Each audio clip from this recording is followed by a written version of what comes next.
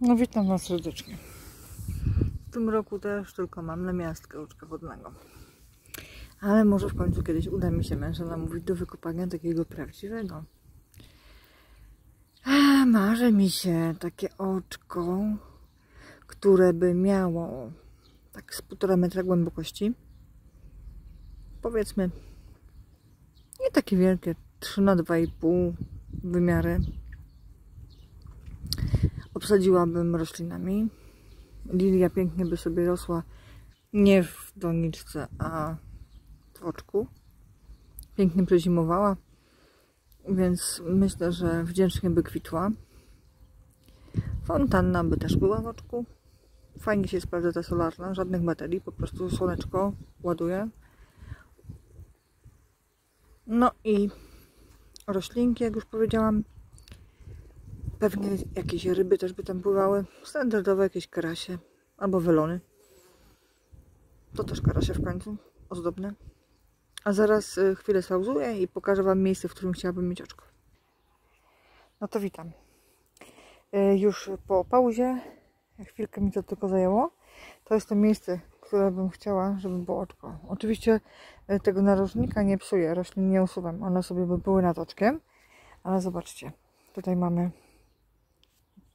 bardzo ładnego igleczka. A tu by się zaczynało oczko. I oczko by sobie szło tutaj. I szłoby tutaj. I aż do końca tego trójkąta. Takie nieregularne. I tak by sobie tutaj było. Fajnie, bo e, tu w pewnym momencie w ciągu dnia występuje cień. Więc ryby miałyby odpoczynek od słońca myślę nad tym, żeby nie obciążać już bardziej mojego rachunku mm, za prąd. I pomyślałabym może nad jakąś e, solarką, jakaś bateria słoneczna, e, która by pociągnęła chociażby na tlenienie, bo wiadomo, że zwierzaki tlenu potrzebują, a przy małym oczku, a takie oczko, o którym mówię, nie byłoby dużym, nie ma mowy o tym, żeby nie było jakiegoś napowietrzenia, same rośliny nie wystarczą.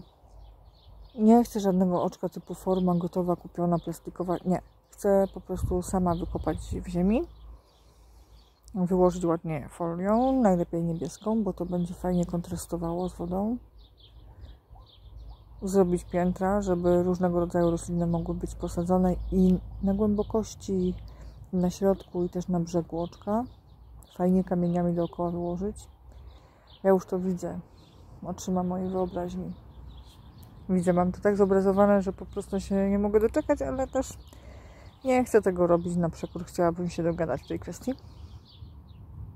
No i wiadomo, jak już to oczko by powstało, no to jakaś ławeczka przy tym może drewniana. Trzymajcie za mnie kciuki. Miłego dnia.